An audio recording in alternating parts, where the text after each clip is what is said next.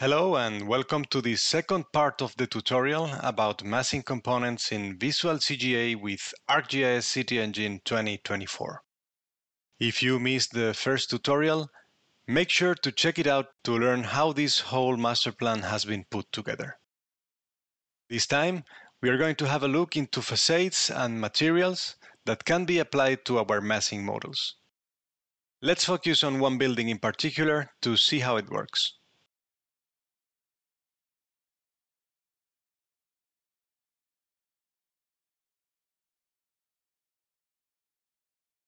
If we open the rule file applied to this block, we can see the VCGA graph behind this massing design.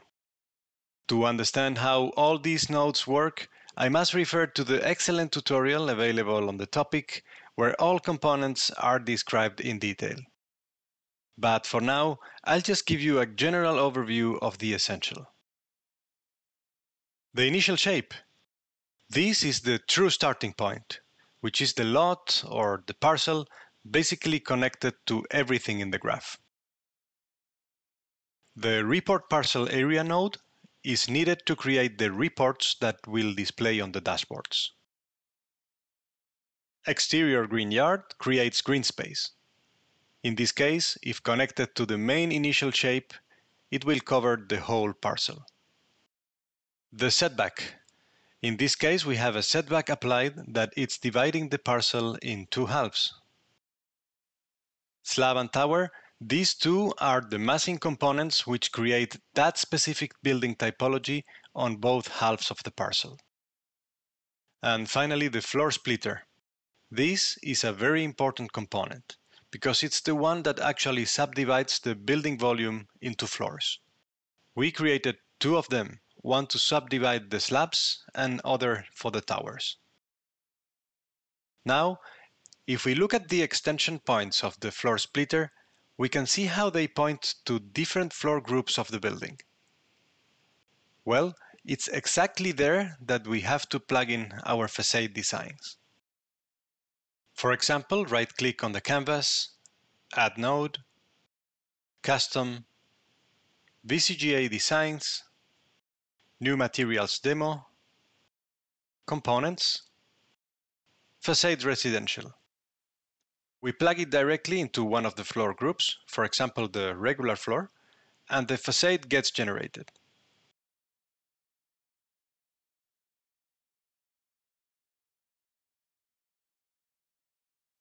Now, if we click on the gray ball of the facade component, it will expose its attributes on the inspector. We just have to locate the facade and we'll see the parts of the building whose materials can be edited. In this case, we can edit the material of the wall, the window frames, and two kind of glasses. If we expand any material, we get to see this little icon that takes us to the material browser. Here, we can browse through the available materials. Click one time to preview a material in the scene and finally click on Apply to assign it to the corresponding building parts. This material library contains new improved materials that have been carefully designed to work not only in CityEngine, but also in SceneViewer and Unreal Engine. Furthermore, they have been created for architectural use in real-world scale. This means that if your UVs have been set up correctly, 1 meter on the model will match 1 meter on the material texture. And it's that easy that we can test and apply facades and materials on our massing volumes.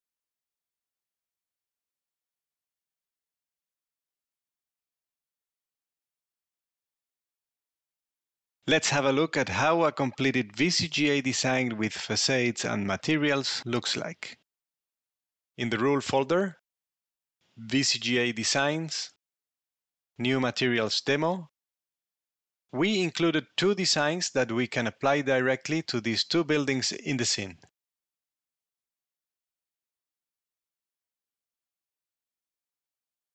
Same way as before, we can use the material browser to try different materials on our buildings. Of course, the facade and material library will keep growing in time with every new release. So stay tuned for new exciting updates. Well, that's all for this little demo. I hope it will help you to refine your massing studies with good-looking, realistic buildings.